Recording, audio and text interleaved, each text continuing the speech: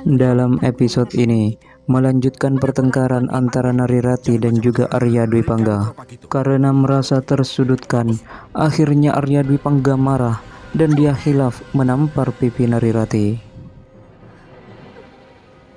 Kemudian, Sin pun berganti. Sin memperlihatkan Arya Kamandanu yang sedang mencari mesin berjumpa dengan pendekar lengan seribu atau Sakawuni. Aku butuh kawan. Butuh sahabat. Dan kupikir pendekar macam kamu pantas untuk dijadikan sahabat.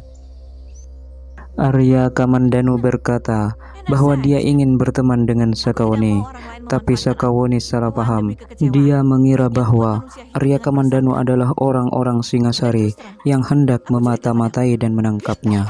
Kemudian Sakawuni menyerang Kamandanu. Pada dasarnya, Sakawuni sangat membenci pembesar dari Singasari karena dia memiliki dendam tertentu pada salah satu petinggi dari Singasari. Karena itu, dia memutuskan untuk bergabung dengan kerajaan Kediri guna untuk membalaskan dendamnya.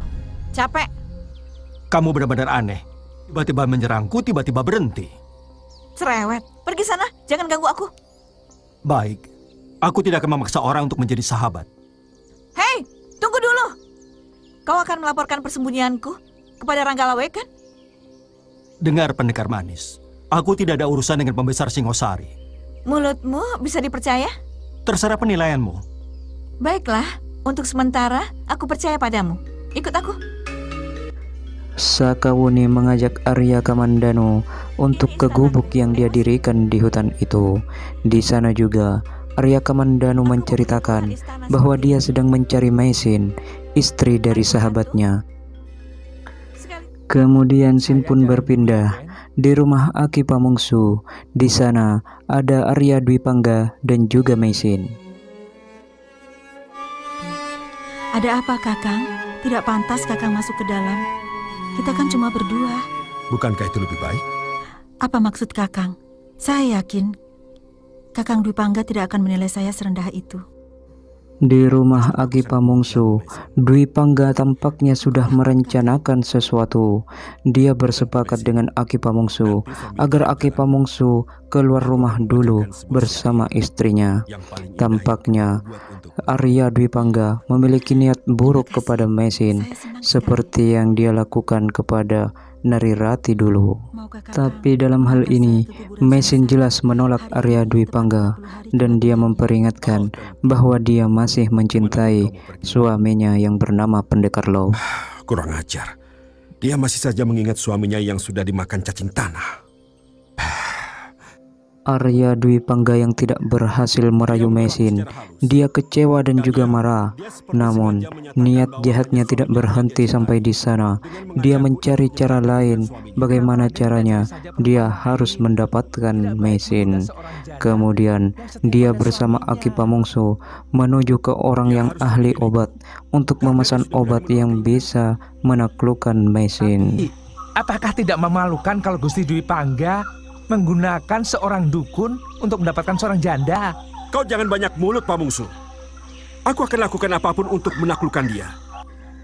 Walaupun Aki Pamungsu sudah berusaha untuk mengingatkan Dwi Pangga, tapi tetap Arya Dwi Pangga sudah gelap mata karena nafsunya yang sudah meledak-ledak.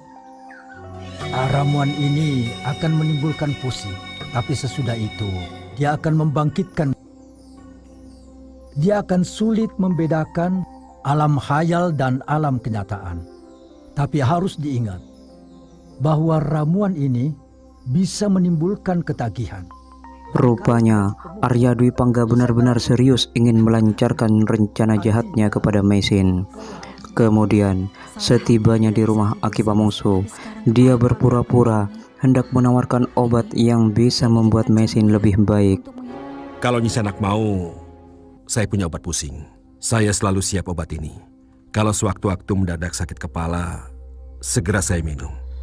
Cukup satu bungkus dan diseduh dengan air panas.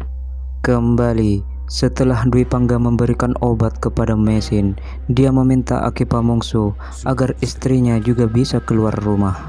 Mesin yang tidak punya pikiran apa-apa, dia benar saja meminum obat yang telah diberikan oleh Arya Dwi Pangga.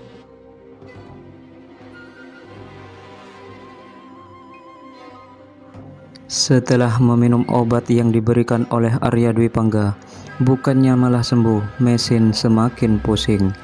Dia sedang berhalusinasi. Segera, Dwi Pangga pun juga mengintip mesin di kamarnya. Lalu, mesin mengira Arya Dwi Pangga itu adalah pendekar Lau, suaminya.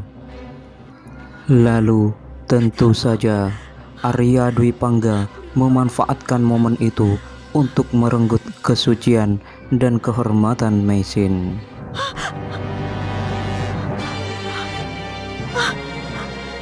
Apa yang telah Tuhan lakukan? Tuhan telah menikahiku. Pasti obat yang telah kau berikan adalah ramuan Aku mencintaimu, Messi. dasar kau datang. Selama ini kau tutupi kebusukanmu dengan syair-syairmu. Lalu setelah kejadian itu, Mesin shock dan dia pingsan. Kemudian, istri dari Aki Pamungsu menyadari sesuatu bahwa ada yang sedang direncanakan oleh Arya Dwi Pangga. Kemudian, istri Pamungsu itu kembali ke kamar Mesin dan memergoki Mesin sudah tidak sadarkan diri. Mungkin obat yang Gusti berikan terlalu keras. Tadi Mesin memang merasa agak pusing sedikit. Jadi maksudmu, gara-gara obat yang kuberikan tadi, dia jadi begini? Itu kan sama saja menuduh. Kurang ajar. Arya Dwi Pangga yang marah karena dia merasa diinterogasi oleh istrinya Pamungsu. Kemudian dia menamparnya. Lalu istri Pamungsu itu sedih dan berencana mengadukan itu semua kepada Nari Rati, istri dari Arya Dwi Pangga. Saya tidak tega, Gusti. Nini Mesin itu orangnya baik. Meskipun bukan bangsa kita, tapi mengerti tata krama. Dan kelihatannya, Gusti Dwi Pangga sudah kesemsem sekali. Mendengar keterangan dari istri Pamungsu, Nari Rati tentu saja naik pitam. Dia hendak akan melabrak Arya Dwi Pangga. Kemudian Sin pun berganti. Mesin yang mulai siuman. Dia sadar dan dia ingat apa yang baru saja terjadi. Kemudian dia mencari Arya Dwi Pangga untuk membuat perhitungan dengannya.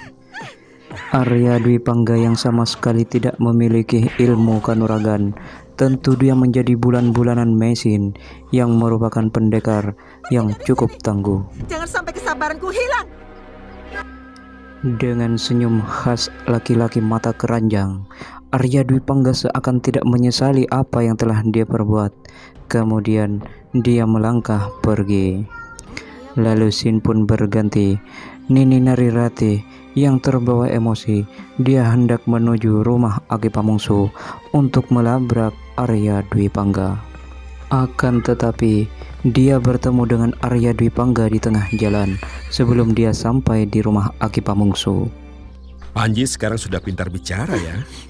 Cuci dulu tanganmu yang kotor dengan air suci 40 kali sebelum menyentuh anakmu. Kemudian pertengkaran antara Narirati dan juga Arya Dwi Pangga tidak terelakkan lagi. Pertengkaran itu juga membuat mereka saling memukul. Arya Dwi Pangga menampar Narirati dan membuat Narirati pergi hendak mengadukan kepada ayahnya.